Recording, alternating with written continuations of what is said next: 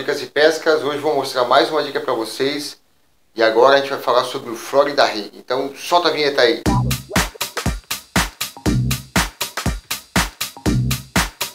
E aí galerinha, então vamos lá fazer a nossa montagem aí do Florida Rig. Bom, é muito simples, tá galera? Eu tô aqui, deixa eu usar uma separadinha aqui, ó, ó. Tô aqui com a minha linha principal, correto? Tá? Tá vindo aqui da minha carretilha, do meu molinete. Tá? O que, que eu vou fazer? Bom, a exemplo da, do Texas Ring, você vai ter que escolher aí uma chumbada dessas de oliva ou redondas, tá? Nessas que dê para poder passar aqui o a, a sua linha principal por dentro dela, tá? E aí você vai colocar aqui então o, o seu anzol offset junto com o seu chat, tá? Só que é, primeiro, se eu for fazer desse modelo aqui, desse tipo de montagem, o que, que eu tenho que ver na hora, o que, que eu vou precisar, tá? Se eu for usar esses feijõezinhos aqui, que são aqueles stopper, né, que a gente fala, eu tenho que passar primeiro, tá? Colocar na minha linha principal primeiro. Ou, se você quiser usar o modo econômico, que é o que eu mais gosto de usar, é você usando aqui, ó, uma outra linha de nylon né, um pouquinho mais fina, 0,25, 0,20, para poder fazer a montagem. Eu acho mais, eu acho legal. Na minha parte, eu gosto mais de fazer assim, porque se eu quiser mudar, eu posso só tirar a linha, não preciso estragar o stopper, tá? Os stopper para outra coisa. Então, eu vou fazer desse modelo aqui. Bom, primeiro de tudo, eu vou ensinar para vocês como é que vocês vão, vão colocar aqui o seu anzol é, no seu shed ou camarão.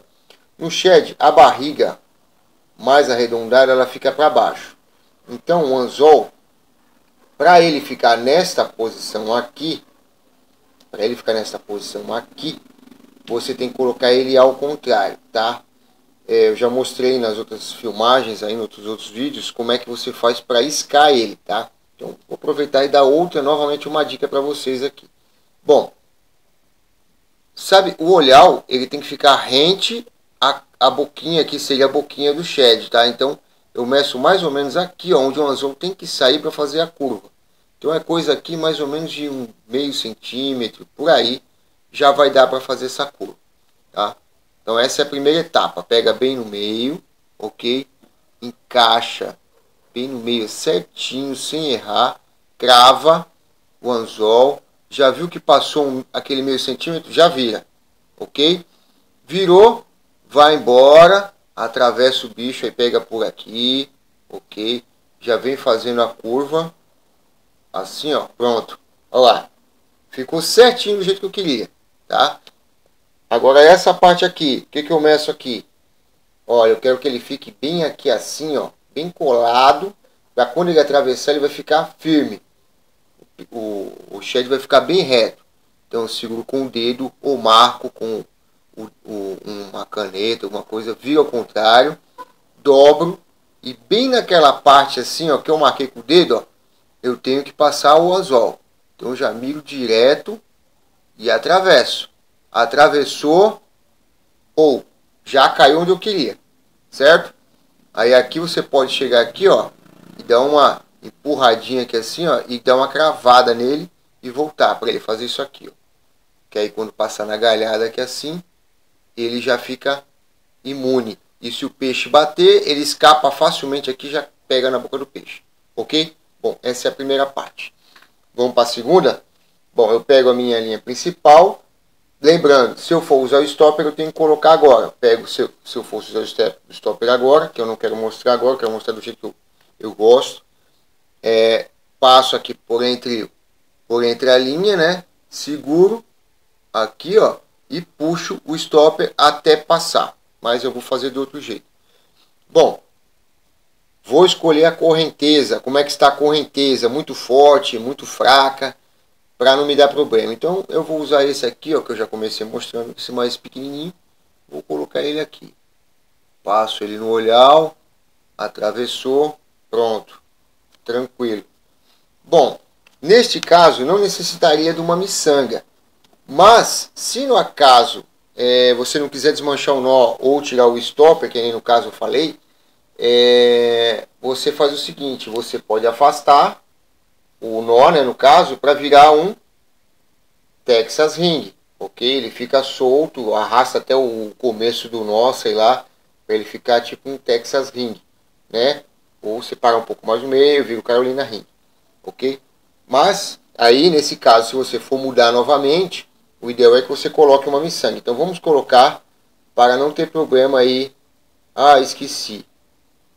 Coloco a miçanga, coloco a miçanga aqui, ó, tá? Coloco a miçanga junto, tá? E aí aqui o que, que eu faço? Eu pego já dou o meu nó de preferência.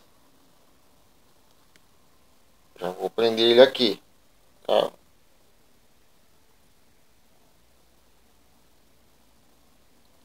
É forcado, não único, aí você escolhe. Lubrifica sempre, tá? Eu como não vou usar agora, não vou lubrificar. Mas vou molhar aqui. Molhar um pouco de saliva. Prendo. Pronto.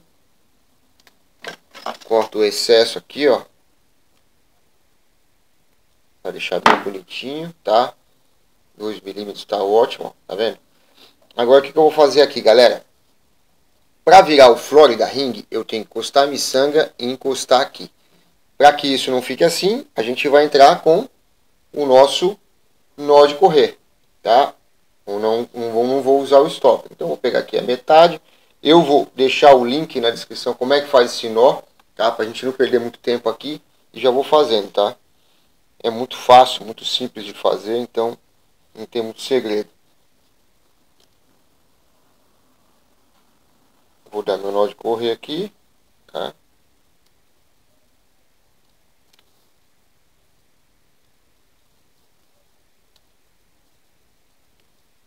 quatro voltas,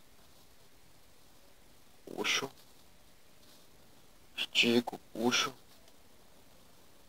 pronto, o de correr já está pronto. Vou tirar o excesso, não muita coisa,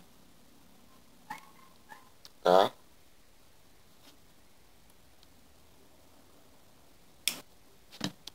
Pronto, só isso aqui, tá? o que acontece? O chumbo bate aqui, ok? Só que o Florida Ring é assim, gente, ó. Ele fica como um jig head. Você tem que puxar o seu nó de correr até encostar no chumbo, assim. O chumbo não pode se mexer. Ele vira um jig head, tá?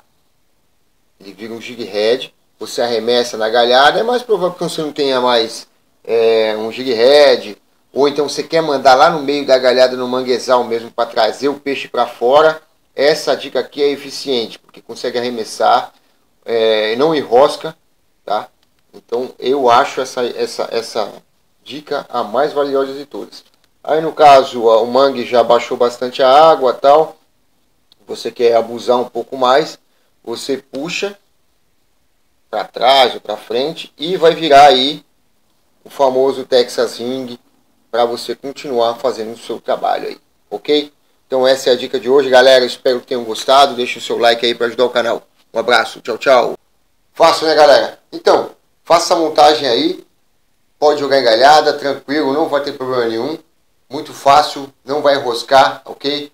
Então, curta nossa página no Facebook, baixe nosso aplicativo para celular, dá uma olhadinha no nosso blog aí, rivaldoribas.blogspot.com.br também não se esqueça de se inscrever no canal, dar aquele joinha para ajudar aí o nosso canal aí, né, e outros pescadores. E é isso aí, galera. Um abraço. Tchau, tchau.